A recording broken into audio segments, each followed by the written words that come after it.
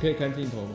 不可以。Hello，大家好，我是尼亚。今天呢，就要来重回我们小时候的荣耀了。说到这个格斗竞技类型呢，我们肯定是要邀请一位在格斗竞技方面非常知名的 YouTuber 来陪我们一起做训练啦。那我们欢迎卡子雅。Hello，各位，我是王卡仔，一个台湾本土的职业教练手。哎，对我已经认识卡子雅，我们应该也认识两三年有。哎，认识蛮久了。好，我先问个问题好了，你自自从你训练跆拳道以来，到目前为止，已经隔多久没训练了？没有很久啦。那那是蛮久的啦。那这个部分呢，还是要跟大家讲一下，因为呃，如如果你的训练虽然身体上面是有肌肉记忆的 OK 那一定还是对于这些跆拳道的一些基础还是会有一定的认知。嗯但是因为毕竟时间拉长了，比如说你的柔软度部分啊，还有你的身体素质部分，一定会稍微受点影响。所以我们等一下呢，就会开始做一些简单的部分，让你去唤醒你本来身体上的记忆，然后。再来就是要定一个小小的目标给你。哇，这个跆拳道他都还没有开始回来练，我现在一定要先定目标。当然呢、是吗每个东西都要给你一个目标，你才会有积极往上的动力嘛，对不对？好那你，猜猜看这个目标是什么？可能踢踢沙包之类的吧。没有，你要踢我。就是因为职业摔跤选手的抗打击能力会非常强，OK。那这是我们的专项。那不管如何，虽然你是个女孩子，但是你的目标如果定成是要对我造成一点点的伤害的话，你是不是会更有动力？好吧，那要加油哦。那我们等一下就会试试看，是吧 OK。好，那我们现在就马上进入我们的训练环节吧。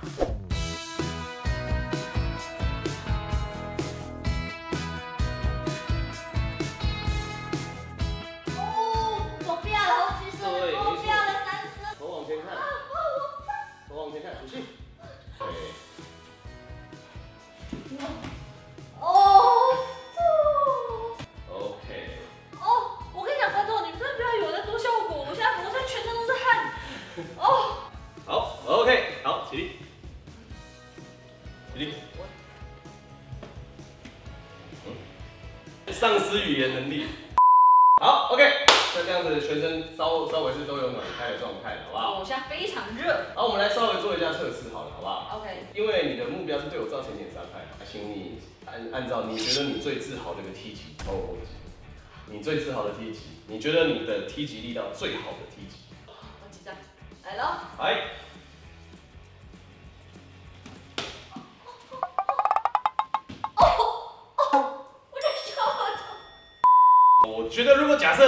零到十的话，你的攻击力道大概是得得得得得得二。我们先测验一下你目前你所擅长的梯级，目前大概会是怎么样，好不好？OK，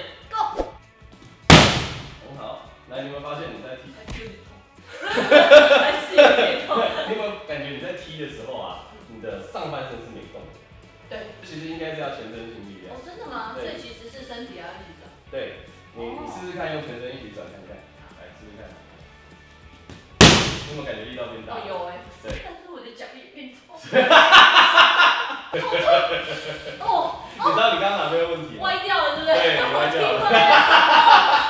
哦。不过不错，你的身体、你的记忆还不错，你的回旋力道都蛮好的。哦。来，你看你你换你拿一次，我踢一次给你看，你就踢。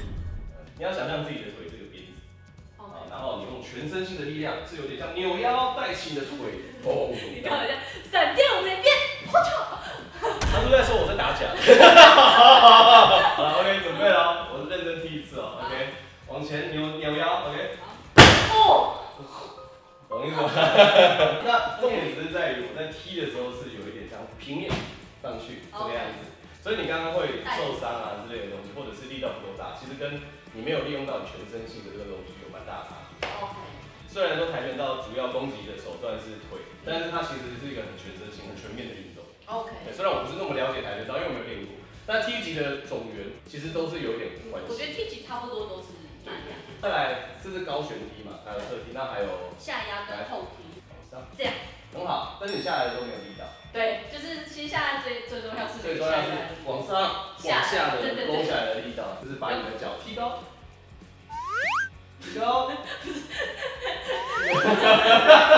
我现在做的东西呢是单脚站立，OK，提高往下。等一下，不知道为什么，什么先举了这边之后，这一段这就是你的核心问题。你今天在做这个动作的时候，你必须要可以这个样子之后，往下。哦，对，有没有？你要画一个圆再往下。喂，对，这就是力道，这个力道是往下压的一个力道，需要拉出来。所以你看我们在做的时候，我们会侧面稳心核心稳定，往上往下。所以它其实是会有一点点侧。以我们的职业摔跤习惯，会稍微有侧，当然也是有直接正的往下的力道的这个东西也是有，但是因为这个东西很好躲，所以我们通常不会。我们在职业摔跤场上，然后一个人这样突然我就直接会，他就听不到了，对不对？好难哦。对，好难再力道不足。哦哦，我的膝盖，好的膝盖，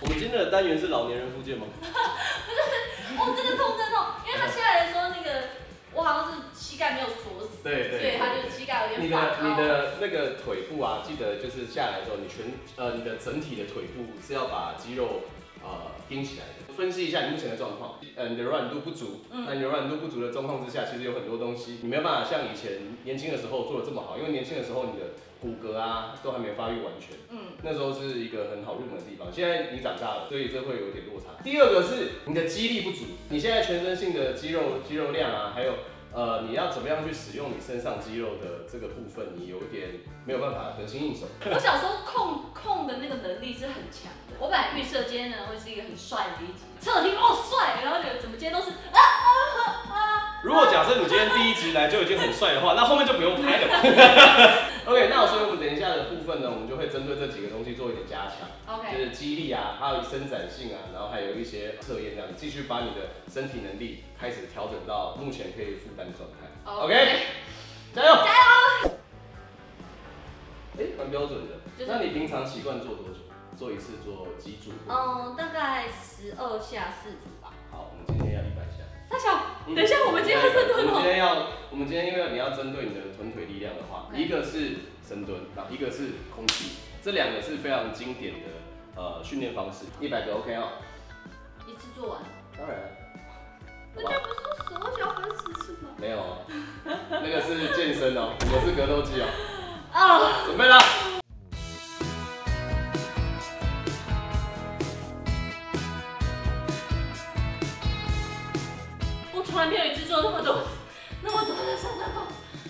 声线都变了。呃，因为像我们的职业运动嘛，职业运动其实你下盘要非常稳。嗯，那像你刚刚在踢的时候，你有没有发现你在踢的挥，然后就会，对，会晃。这个其实就是平常你的下盘训练的重要性，而且你要练踢击。现在在五十个可不可以？我觉得我等下可能连一个旋踢都踢不出来。所以才要刚刚先让你踢啊，啊，等一下，等一等下就，没了。没得踢。来，再五十个。好，来，准备，哎，一、二、三。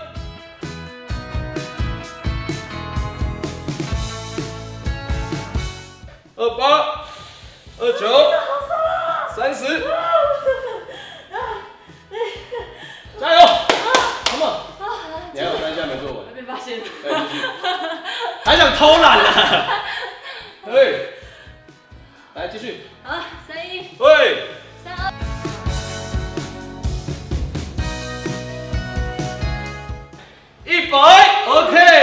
一百个。哦如果假设现在厂商给了你一个工伤的东西的话，你要对镜头讲我，比如说我们现在工伤这个这个垫子，来请请面对镜头来工伤一下。哎，这这个这个这个这个这个这个这个地形防护垫呢，呃，非常的棒啊，这个大小适中，然后软硬度也适中。我们从这个地方就感觉是出来他是个敬业的人啊。好，等一下我们休息一分钟，一分钟，等一下空气，一分钟就好。啊，他刚哈哎、没有的还是哈，不能不能十秒就好了吗？不行哦。我跟大家讲哦，就是尼亚那个时候呢，跟我们说我要拍这个东西的时候，因为本着职业道德，我会很认真的帮他达到他想要的愿望，对不对？然后他跟我讲说，那一天呢，哎、我会画的漂漂亮亮的过去。我就说你不用啊，他说没有啊，我要画的漂漂亮亮过去，你不用啊。好，等一下就是这样，OK，好，先起来，起来，起来，一组一分钟，第二组三两组，组哦。好对好了。可以哈。呃，通常啊，职业摔跤训练里面会有一个比较有趣的方式，就是因因为做下去的时候，你如果完全不讲任何的话的话，你会很紧张，或者很紧绷，因为很累。嗯，这个时候我们通常跟你讲说，没关系，你可以跟我们聊天，这是我们所有训练里面唯一可以让你自由聊天的。嗯，好，好，来豆子。YouTube 未来有没有特别想拍其他的东西呢？啊，我觉得本来想说，刚刚还在跟摄影师说我们可以练一下摔跤，可以啊，觉得好像不太。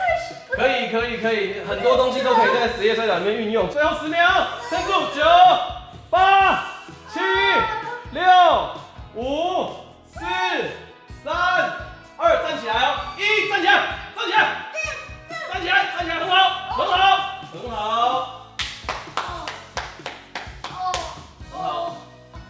哎，这是我们所有训练里面少数可以跟让你一直聊天的。丧失主持能力。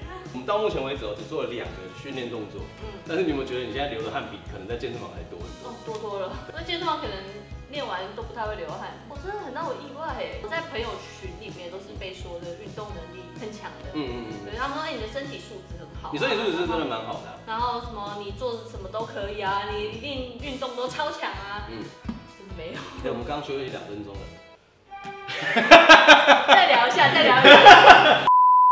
来跟你预告一下哈，我们除了就是下盘的运动之外呢，我还会教教你一些核心的，比如说扭腰啊，因为这跟你的核心使用力学也会有蛮大的关系的。那我们等一下会有踢的东西吗？会，很好，很好，很好。来，最后十秒，九、八、七、六、五、四、三、二、一，站起来，站起来，站起来，站起来，很好。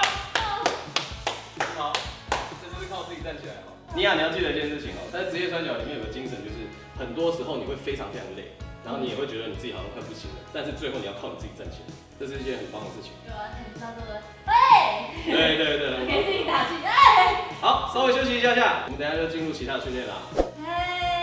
好的，OK，我们刚刚呢就是呃稍微基本体能啊，虽然说今天的量只有两种训练，就发现这样子是很少的。一般来说，单纯以这种类型的训练就会训练到三个小时以上。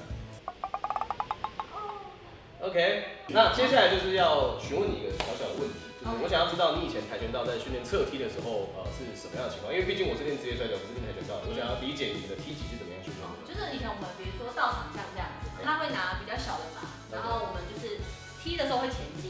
前进之后再折返这样子，是来回踢啊，或者是踢沙包或者是把，就是会同样的一个东西是踢一直踢这样，然后训练你的扎实度这样。我等一下会拿着这个立式把。然后这个把呢，我会不断的移动，你要一直不断的用侧踢踢它。我们现在的目标是一百下。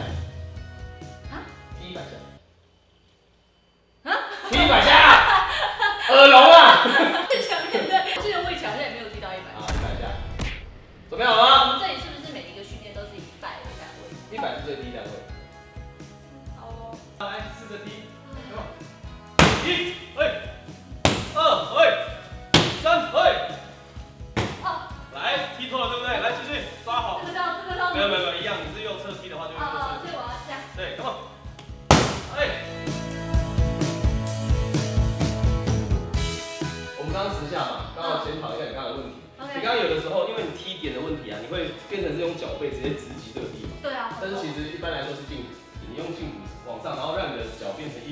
条线这样这样踢。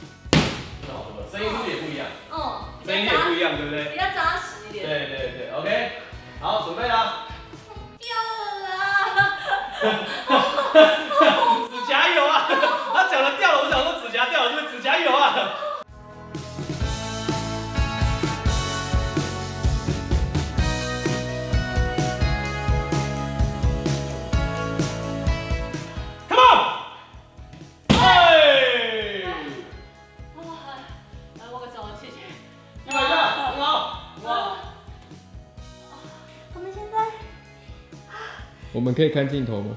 不可以。我们现在呢，已经完成了一百下的侧踢踢击。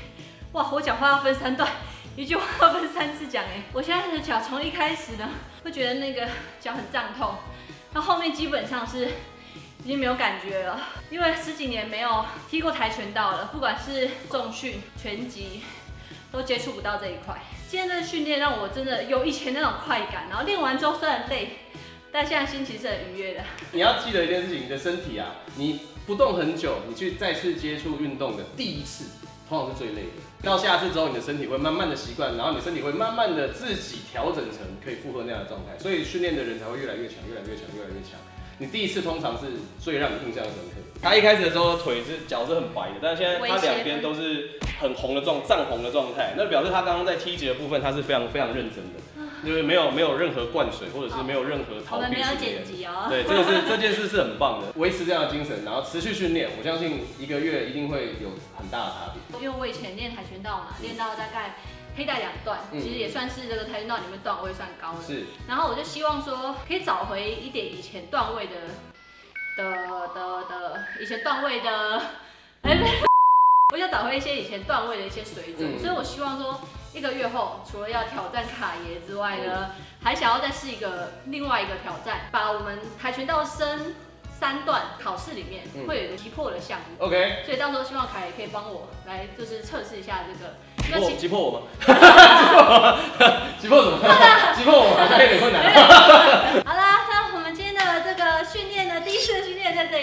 成功，成功，蛮成功的。OK，然后我们谢谢卡爷啦，不会不会不会，陪我练那么久。那喜欢我的影片的话呢，记得帮我按赞、订阅、分享。然后呢，卡爷的资讯在这。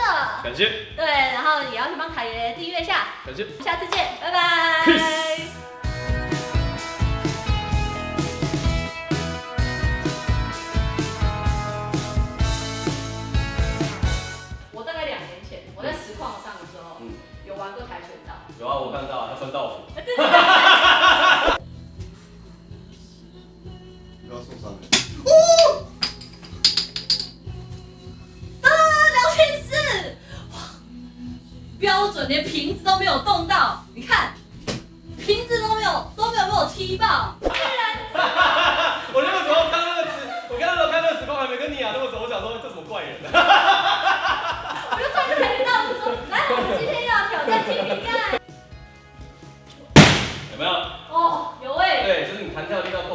回的力道就会够大，所以这个声音就会有差。